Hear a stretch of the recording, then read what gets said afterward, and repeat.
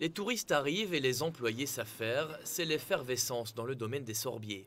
Après un an de travaux, l'ensemble hôtelier de Air-sur-Meuse s'offre une seconde jeunesse. Maxime Ramé, le directeur, attendait ce moment avec impatience.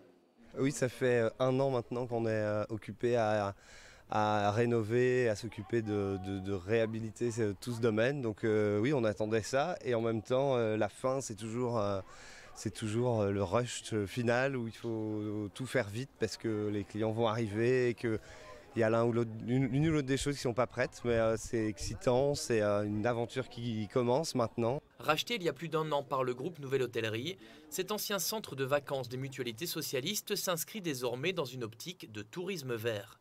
Les nouveaux propriétaires veulent privilégier notamment les circuits courts, exemple avec le menu du soir concocté par le chef français du restaurant. Là, c'est des sablés euh, Condor. Le Condor, c'est un fromage régional qui vient de un petit, un petit village là juste à côté, une dizaine de kilomètres. Donc on a intégré le fromage dans le sablé.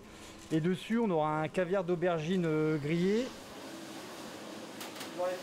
Situé en plein cœur de la vallée Mosane, ce gigantesque domaine de 17 hectares possède de nombreux atouts pour amener les touristes dans la commune astiroise.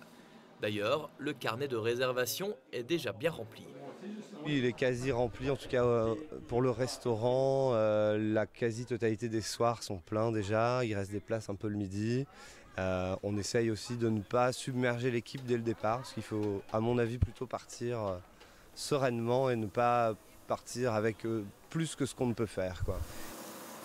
C'est plus qu'un hôtel à, deux titres. D'abord, vous avez vu, c'est plus qu'un hôtel, c'est un domaine de 17 hectares, c'est un gîte, c'est un restaurant qui s'appelle En face de l'île, c'est la possibilité d'animer des séminaires, d'organiser des mariages. Donc il y a une foule de possibilités sur le site, il y a plein d'activités possibles dans le site. En comptant l'hôtel et le gîte, les Sorbiers peuvent accueillir plus d'une centaine de touristes. Un nombre qui devrait encore augmenter dans le futur puisque la péniche stationnée dans le domaine pourrait être transformée en logement insolite.